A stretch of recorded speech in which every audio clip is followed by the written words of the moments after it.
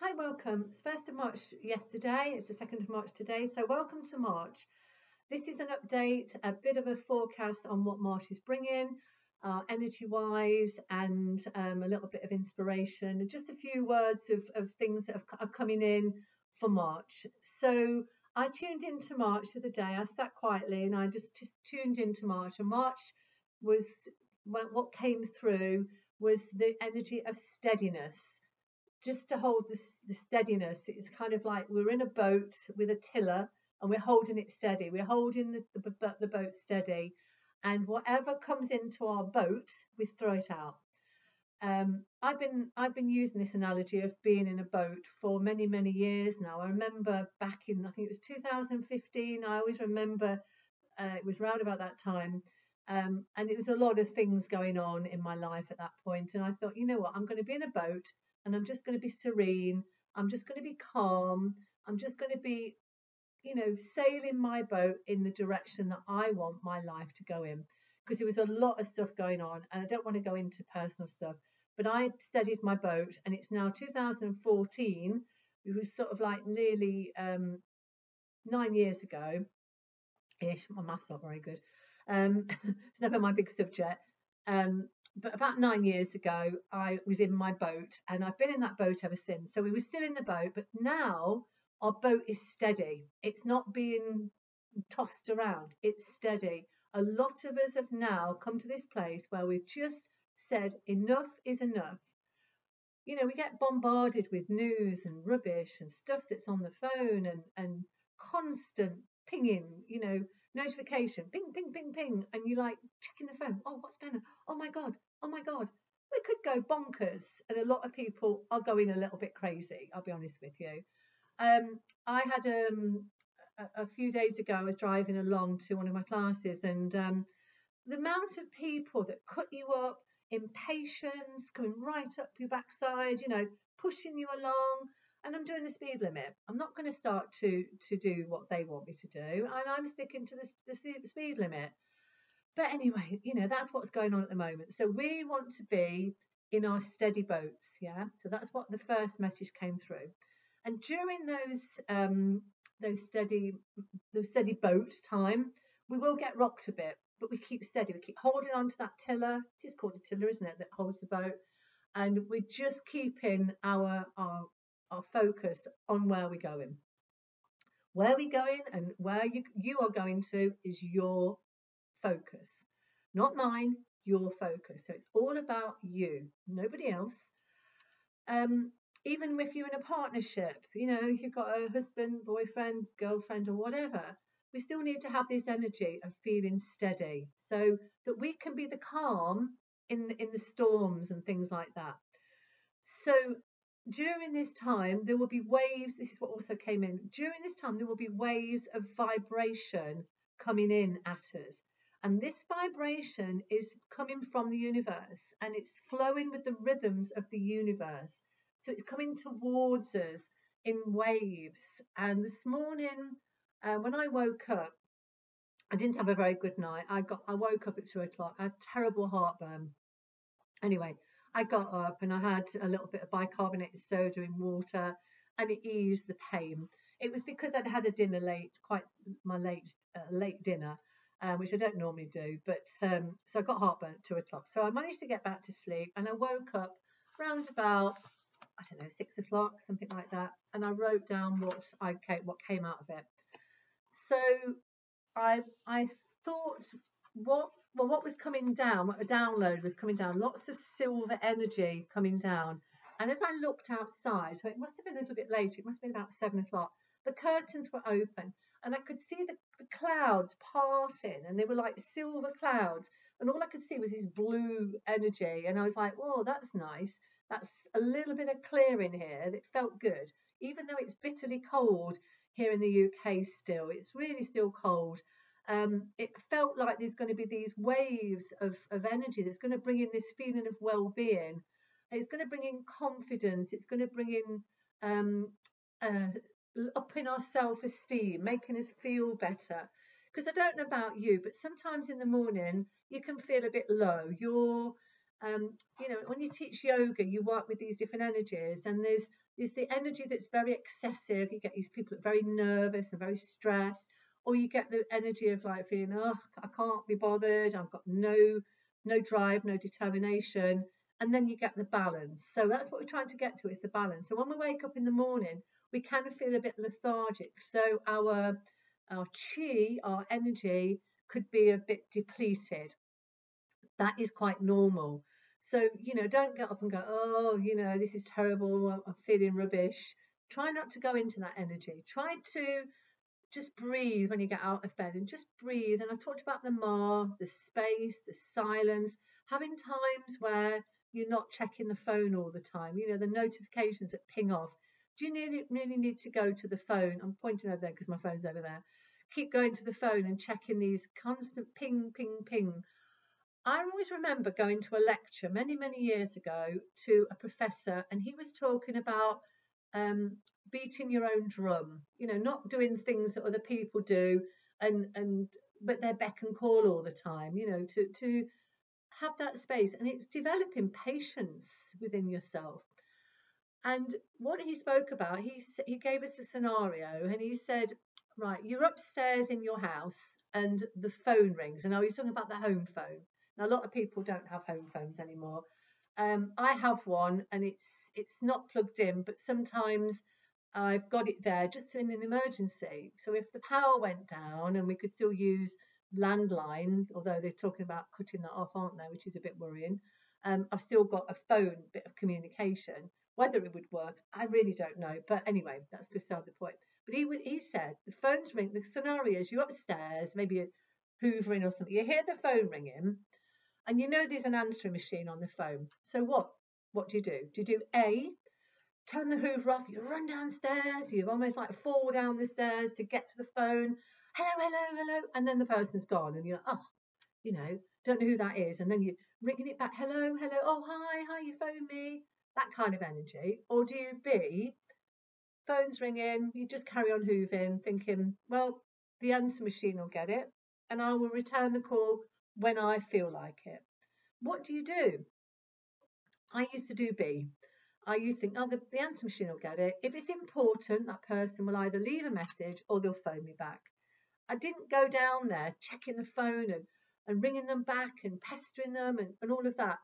That is the energy we need to get out of. And we need to get out into the energy of feeling that we have that patience to, um, you know, have time for us to be not all back beck and call of that phone because it is getting that way.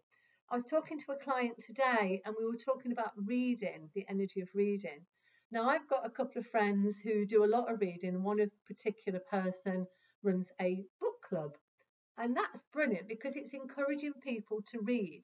So, you know, you've got that task of this is the book we've got for the month and we've got to read it sometimes that again can be a little bit ordered because it might be something that you don't particularly want to read. And as you get older, um, how, how many years have I got left on this planet, kind of thing, and how many books do I want to read that are the books that I want to read?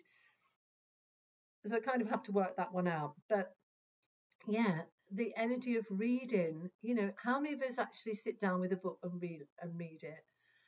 My one of my goals this year was to read a book a month. I read one in January. I read a few in February, but it was more flicking through the book and reading bits of the book. So it wasn't actually reading a book. One of the books I was reading was this book. I've got it here. And this is useful. This is useful reading. This is what I'm talking about.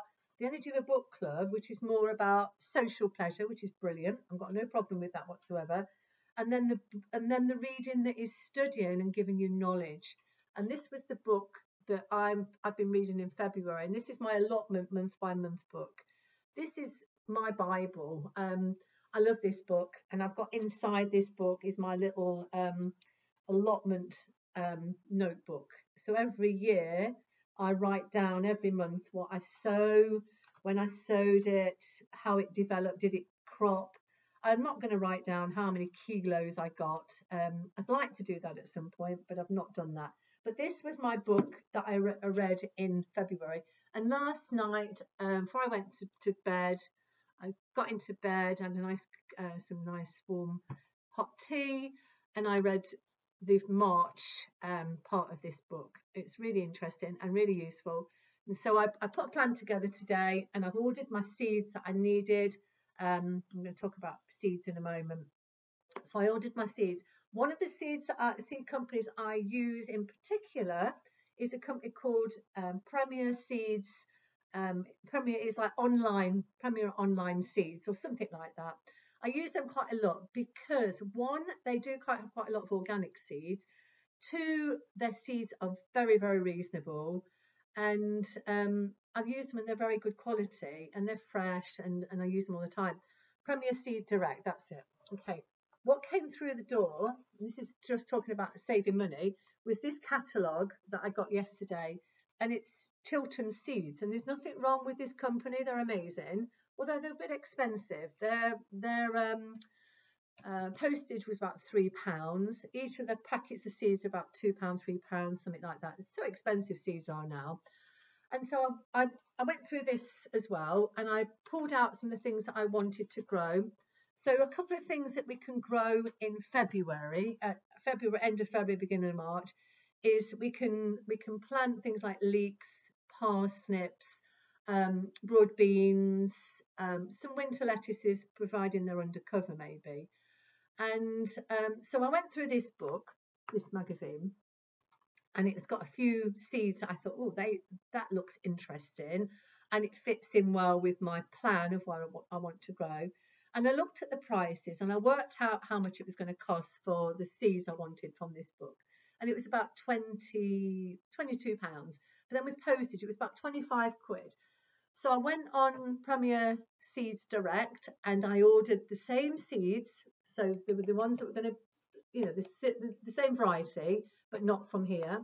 And they came to £11. The only thing I couldn't get was some peas um, so I'm going to look for those, um, see if I can find them at the garden centre because I'm not paying £2.50 for a pack of seeds and then £3 postage.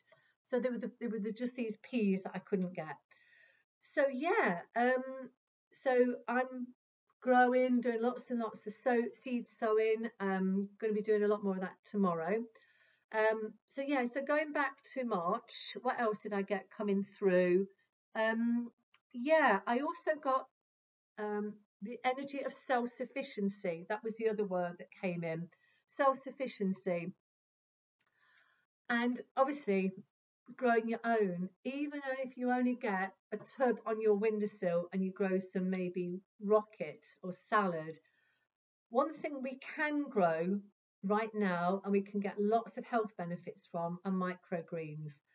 Um, many, many years ago, I used to have a sprouting tower. Uh, I've, I've, got it downstairs. I don't want to bring it up because it's got seeds and things in. So it was a tower with three or four little compartments, and you put your seeds in and you water them and you get your microgreens. Bring that back and, and go with that because it's something that we're always going to have there as our little bit of self sufficiency the I don't want to go to political, I don't want to go into that, but there are um, signs that we could have shortages of fruit and veg, really, because let's be honest and let's be realistic. We've had a hell of a lot of floods in the UK, an awful lot of flooding, and those and those guard those fields can't be planted on. They're, they're literally sodden in water. I know there are areas which haven't been uh, suffered by floods, but it's a sign that you know we could have a few problems in the spring when we have what's called the hungry gap. We might not have so many veg. I noticed yesterday in Tesco's there was a lots of gaps in the shelves of certain produce. I mean, there was a, there was massive lots of food. There was nobody's going to go hungry, that's for sure. But if you want really good, um, healthy greens, grow yourself some seeds in these little towers. Um, I bought one. Well, I had one many many years ago, and I had I had a lodger here, and um, we were using it, and it got broken, it got dropped, and it, it cracked. So I, I never got a new one. And then the other week, I thought, you know what, I'm going to buy another tower. I must admit, it's not such good quality as the one I originally had, but it's okay. And I've been growing mustard seeds, radish seeds, and some alfalfa. and um, they've grown really well. And I have them with my, you know, with my lunch and my sandwich, and they're very, very high in um, fibre, in vitamins and minerals. So that's something that I would suggest you do for March. One thing is really good is broccoli seeds. They grow lovely, and um, basil seeds as well. So that was one of the things I was talking about was the microgreens.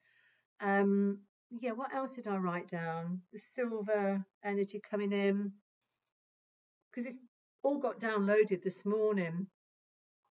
Um, yeah, there's a lot of upgrades for everybody, and also don't inf- interfere with that upgrade. So if somebody is is uh, I've got has got a lot of changes going on in their life, you know, just just support them, but don't interfere. Don't say things like, "Oh, do you really think you ought to do that? Or do you think you should do that?" No, no.